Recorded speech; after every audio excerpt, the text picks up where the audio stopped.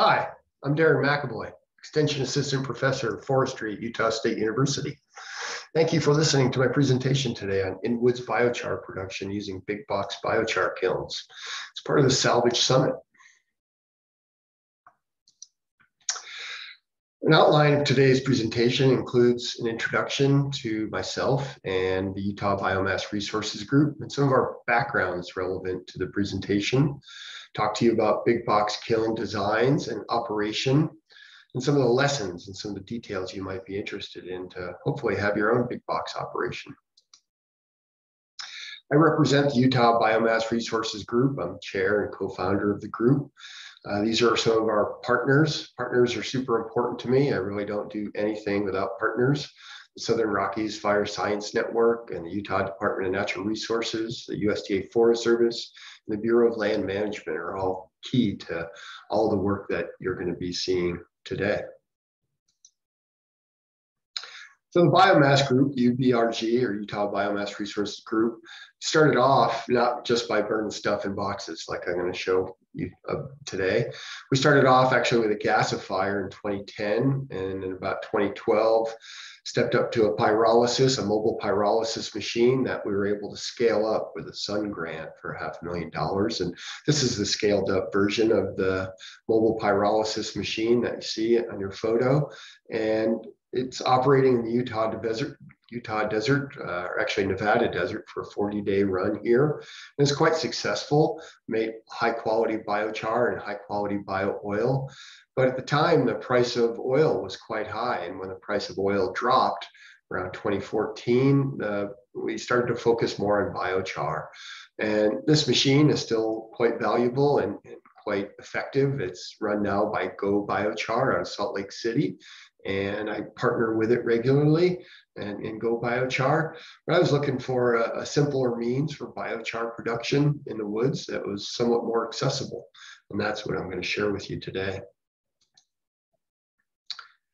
One of the lessons of working with high-end biochar, biomass processing machines, like you saw in the previous photo, is that in some cases it was costing us more to chip the material, to, to process the feedstock, than it was to pyrolyze the feedstock. And that didn't make a lot of sense to me. Um, that's what pushed me towards looking for simpler methods that could uh, step aside, step, step away from all the material handling costs. Um, the accessibility of the big machine is, is, somewhat more challenging. They're expensive to operate, ex expensive to purchase and to move around. And the bio oil handling was somewhat of an issue, especially when the, the value of the bio oil dropped concurrent with the value of the, the, the fossil fuels. These experiences led me to, uh, pointed me towards a need for a simple, low cost in woods biochar production method. In 2017, I was able to get a USU extension grant to bring four of these Oregon kilns, and Kelpie Wilson came and trained us on using these kilns. She came from Oregon to do this. These are five foot by five foot kilns, and they're a very effective teaching tool and learning tool um, they're very accessible and, and inexpensive, but um, they're very small scale. I was looking for something a little bit bigger. And so was able to get this 2019 Utah Public Lands Initiative grant to create this big box biochar approach that I'm sharing with you today. Our first kiln is shown here, the BB16.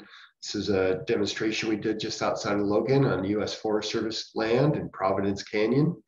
The BB16 is 16 foot long and eight foot wide and about six foot tall. It weighs about 3,000 pounds and is a single wall construction kiln. As you can see here, we're using a, a very large, I think this is a 34,000 pound excavator to move and operate this kiln. And our second set of kilns uh, are the BB12s. They're 12 foot long, uh, six foot wide and four foot high. They're double wall construction. Uh, that double wall helps protect the operators and the machinery from heat that's going on inside of the kiln and also creates more even heat distribution and biochar production within the kiln. I learned some of these lessons through cooperation with my partners, Kelpie Wilson and Ken Carloni out of Oregon. The BLM owns its own BB12. This is the second one that we have built. And these are some of the fuels that we will be working on. Uh, at, I want to share with you today. Most of the photos are from post-salvage operations that we've done here in Utah, but a few of them are from the Moab area where we were uh, pyrolyzing Russian olive. The process starts by loading the kiln with a, a rick of logs, a crisscross pattern of, of, logs down in the down in the kiln to make it somewhat airy. Need oxygen to get the fire started, and then eventually the oxygen will be limited because uh, there's no holes around the outside of the kiln.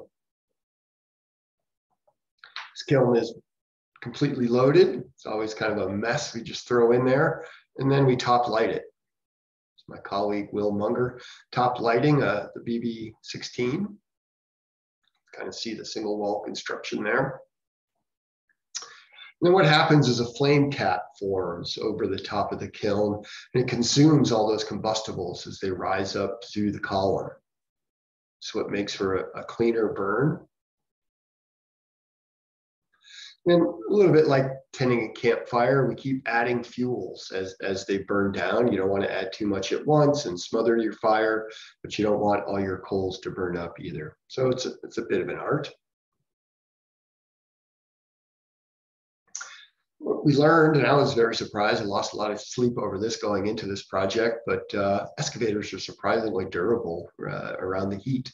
I thought we'd be replacing hoses and buying new equipment for people, but with careful careful operation and operators, uh, we find that you can get in there and tend the kiln and pull it away and the operators are very good at maintaining and, and, monitoring the, the amount of heat that, that's on the machine. And we so far haven't had any problems with that. Here again, looking across that flame cap of an operating kiln. Um, what we're looking for before we end the process or quench the kiln is when the flaming combustion that you see here drops down to glowing combustion. That's going to happen in the next few minutes on this kiln. And we might quench uh, when that happens or when the kiln is full. This is a mostly full kiln here that you see, or it might happen at end of shift, or often it happens mid shift. So we get two batches in, in the course of a day. Right around lunch, we'll quench, dump, and start again after lunch. Quenching takes about 300 gallons. Need an engine on site. As you can see in this photo, it's better to get all the water in the kiln than, than spray it out the other side.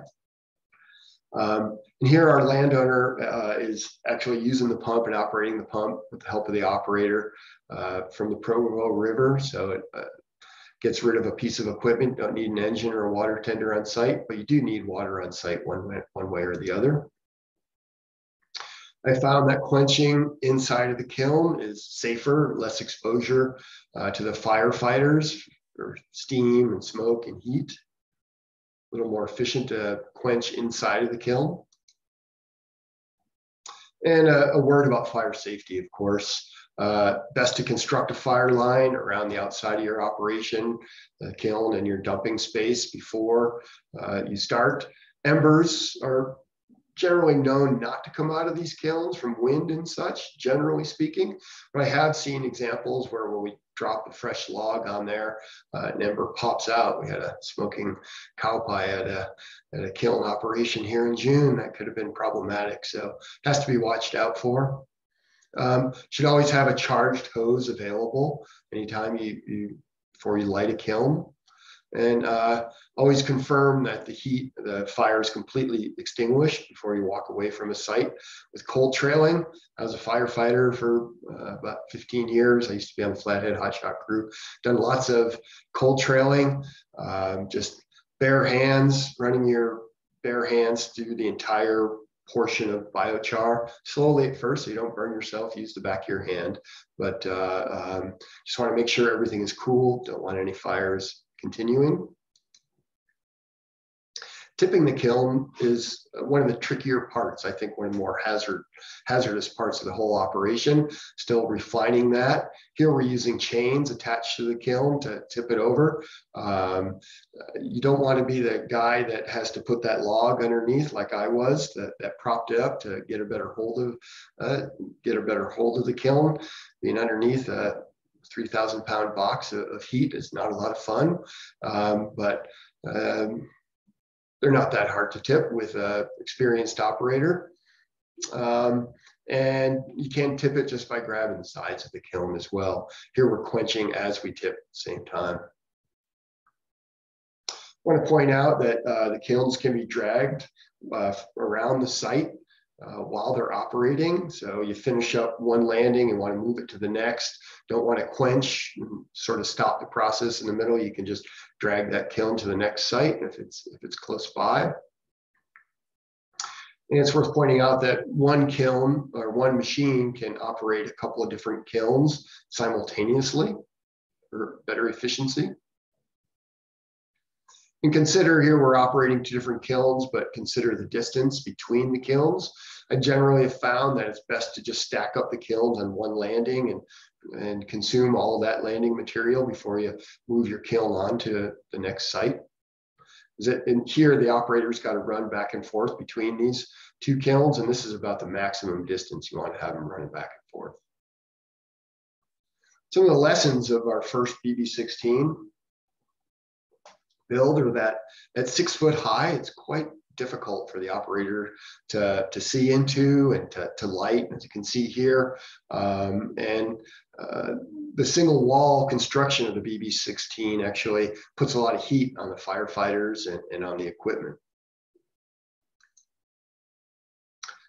Uh, we find that it's much cheaper and easier to use a small excavator than a 34,000 pound track hoe. Uh, often the firefighters or landowners will can rent or operate these machines themselves. Uh, this eliminates the need for a lowboy and a, and a trained operator and scheduling uh, of a big expensive machine course, if you're doing this concurrent with your logging, you want to use whatever logging machinery you have available, which tends to be a lot bigger. But coming in later, it's a lot more efficient just to use a mini excavator. There's a Mini X unloading the BB16.2 as I'm calling it. Uh, that's a modified BB16, was originally six foot high, and now we reduced it down to four foot to make it easier to work around and, and throw material into and see down inside of. Um, that reduced the weight once we chopped it down a little bit to 2,300 pounds, makes it easier for a mini excavator to move around. Also, it makes it more transportable with a small pick with a regular pickup. Here it's on a fifth wheel trailer, we're pulling it off. We're saying that uh, double wall construction of a BB12 makes it much easier to heat your burritos at lunchtime. I want to point out the dog doors on these kilns, as we call them. They're a draining port, uh, so to speak. And here, this one is partially opened.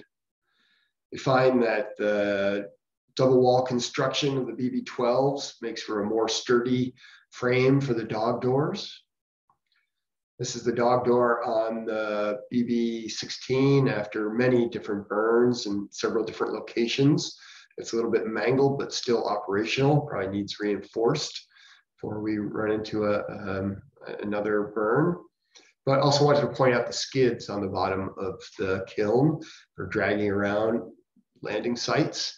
I think a lot about putting roll-off technology under these kilns to make them easier to load and unload onto trailers. But I can see that it's going to be a challenge for moving them around the sites, around sites. So kind of still working out some of those details. I want to point out the eyelets up high and down low for dragging the kiln around the site and for tipping it, for general uh, holding it down when we're, when we're transporting it.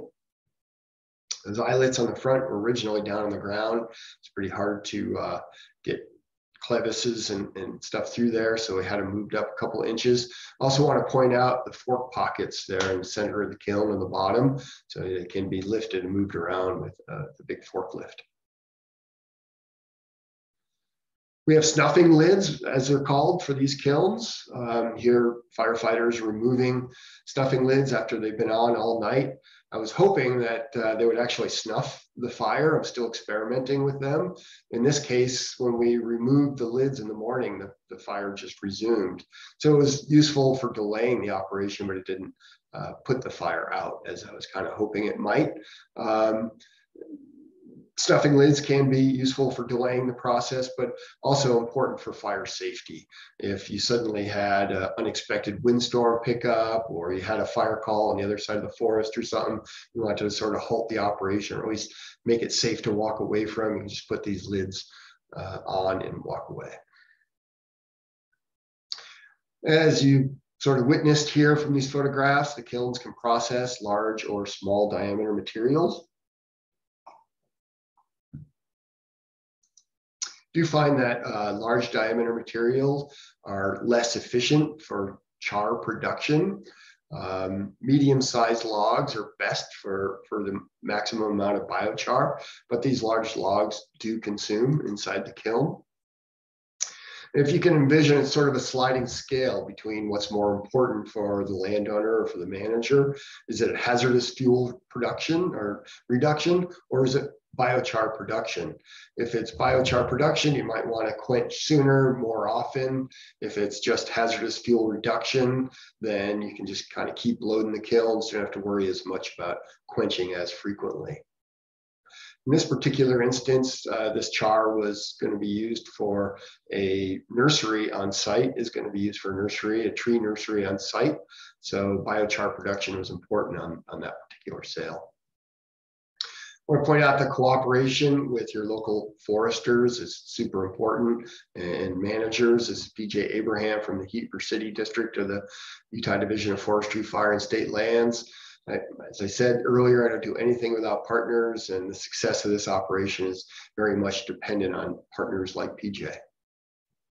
And working with the operators and getting the firefighters and the operators to sort of communicate and figure out what they need and their limitations uh, sort of coaching them through that is an important part of the process. Then air quality monitoring, wanted to mention something about that. This is a device set up by the Utah Department of Environmental Quality right next to my operating big box kiln.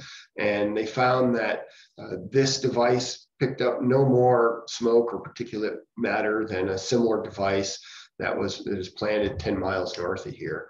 So pretty good success as far as keeping the air clean with these kilns and, and the flame cap approach. Um, but we are unfortunately still subject to pile burning limitations and restrictions here in Utah. We're working with folks to try to get around that, but right now we, we still have those limited those limitations. And that's an area of investigation for me. I want to do some research on and, and have some numbers and, and data on, on the air quality impact from big box biochar kilns. And when you're burning green material, freshly cut material like this, this is from, this is at a ranch here in Logan of their smaller kilns, actually our smallest kilns. And they had a wind throw. We had a wind throw event here about a year ago. And so we were burning very green material, which can work on a dry, dry day like this. Uh, green material on a raining day may not work so well, depending how dry it actually is. Um, but it does produce a lot more smoke, that green material, than if you're doing dry material. My Oregon colleagues will tend to throw, as they're hot logging, as they're logging, they'll just throw everything green or not, four inches and less in diameter directly into the kilns as they go, kind of thinking that anything over four inch diameter doesn't really add to spreading a fire quickly. So that's, that's one approach. And biochar is an important tool for forest restoration. Here, we're applying the biochar back in the forest. Uh, of course, if these logs were just burned or left to rot, all that carbon would go back into the air. And that biochar on the forest floor there is 85% pure carbon with a half-life of almost a thousand years. So this is the only way I'm aware of that we can teach people to store carbon long term, durable carbon sequestration on the ranch, on the farm, or right, even right at home. And all that carbon in the soil will improve the microbial ecosystem of that soil. Here we're spreading cool char from previous days uh, operation out on the landing using a mini excavator for landing recovery. And here the landowner and operator is breaking down the char. It's quite brittle and friable. So he's using a mini excavator to break it down into smaller pieces for agricultural application. Probably best to leave it in big pieces we're just spreading it out on the forest. And here you can see some sticks that are completely or not completely charred. And if we, we have larger diameter, those can be pretty big chunks of logs, we call them bones. And the choice is you can either throw them into the next kiln for more complete combustion uh, of those materials, or they can be set aside and used for hugelkultur, which is a growing method where we bury logs and grow uh, vegetables and things from that material. And biochar logs tend to make great base for hugelkultur, or just spread out in the forest for coarse woody debris that, that's very durable. I want to give mention to this other approach that we're starting to experiment with, working with my colleagues, Debbie Dumroese and, and Wilson and others, and a sort of kilnless biochar production. This is in cooperation with the Payette National Forest, the New Meadows District. Went up there last summer. We tore apart several piles that they had made in traditional methods, or just throw everything in a pile. Here we're starting with a deck or a corduroy of the biggest logs on the ground to help protect the ground from the heat, and we'll pile everything else on top of it. And we think this will better protect the soil from that heat important part of that operation is to top light it, as you see here, where we top light this pile, and that will create uh, less heat on the ground, we think, and, and provide more biochar production. So we're saying that the kilns are certainly more expensive than traditional pile burning. Uh, here we're doing both at the same time, so they can be done concurrently, which maybe saves a few dollars. Kiln approach is much more labor and equipment intensive. Um, but it, as I mentioned, it does preserve the carbon. We think it puts less heat on the soil, less smoke in the air. Those are both uh, approaches that need further research and investigation. Um, and we think it might be a better way of doing, doing business in some instances want to remind people that historically there were a lot of there was a lot of biochar or charcoal production across the Intermountain West. These are historic beehive kilns just over the line in, in Wyoming, just out of Utah, that we looked at at a forestry conference a few years ago. And uh, I think they might offer a clue to what we might have coming in our future here. I was fortunate to present this big box biochar information at an international forestry conference, a a IUFRO conference in Brazil two years ago and learned about these kilns that they use there. They look very similar to our old beehive kilns from the previous photo. And my colleague from Northern Arizona University, Han-Sup Han, and I did a little back of the napkin rough calculation that shows that in Brazil, they used this simple method of, of carbonization and they reduced hazardous fuels or consumed more biomass than exists in all of California and all of Arizona as hazardous fuels today. So this stands as somewhat of a note of optimism that these simple approaches can be fairly effective in getting a handle on our hazardous fuels problem. This is my contact information. I'd be more than happy to visit with you or possibly come to your forest or, area to help you conduct a big box biochar operation. Thank you for your attention.